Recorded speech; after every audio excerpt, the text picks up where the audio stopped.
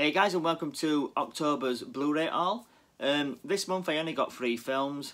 They're all new releases, but they're not new films, and they're all like cult classics in a way. Um, um, so yeah, let me get in. You know, start with what I got. And uh, with uh, last month being October, um, the first item is Halloween from 1978, the original um, with Jamie Lee Curtis. Um, this is a new release. This is the 40th anniversary edition.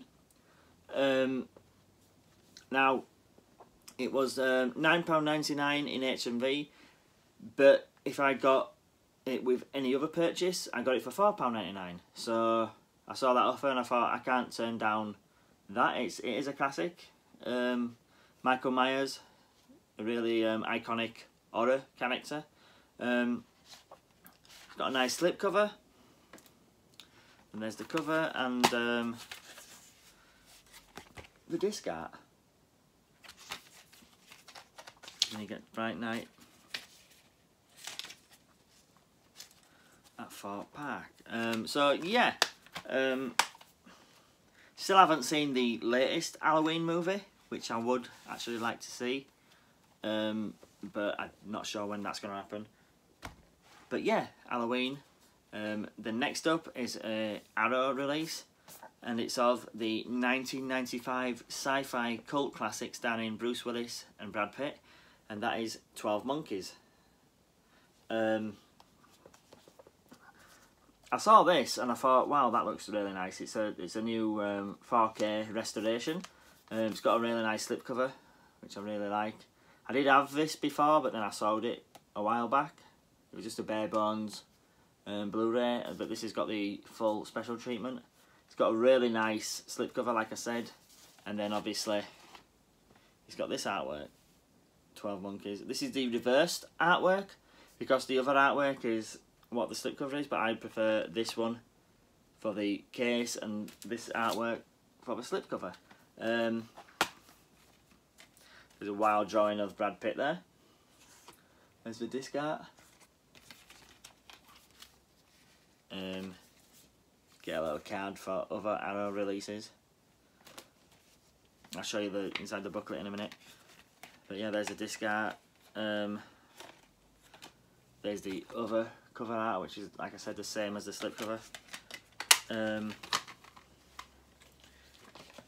Arrow do really good releases. Like I said, that's a wild picture of Brad Pitt there. Um, but yeah, there's some. Um, it's a good read, good toilet read. You know, if you sat on the toilet and you need something to read, it's good. Some interesting facts and stuff about the film. Some good imagery. Um, yeah, this is like one of those 90s films that people don't talk about enough, but it is a really, really good film. Um, Frank Gorshin, who played the Riddler from Batman 66, Adam West TV show there.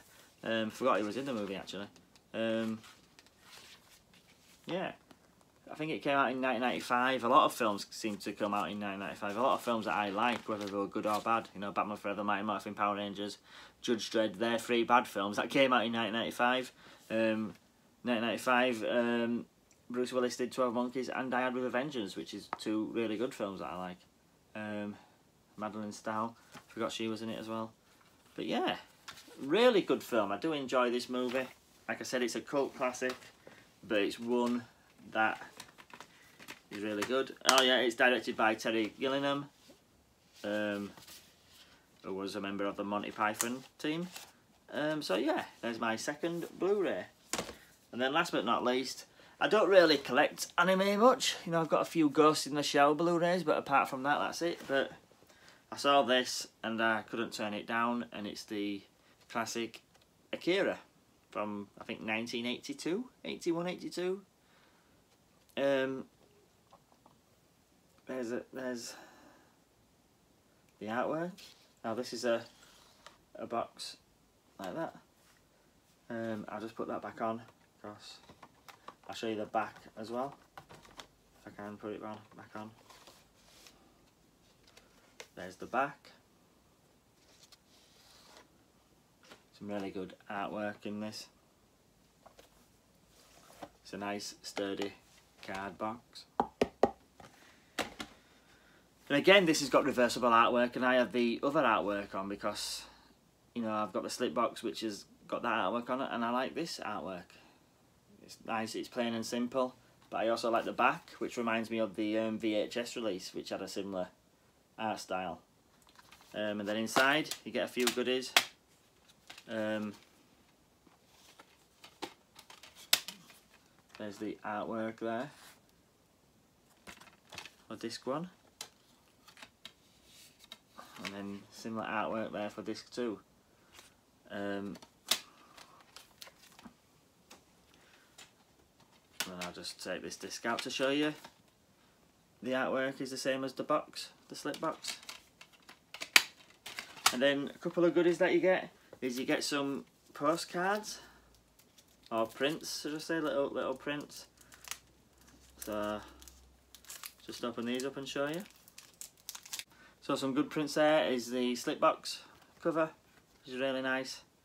Um, in the back of the slip box. And then the disc art.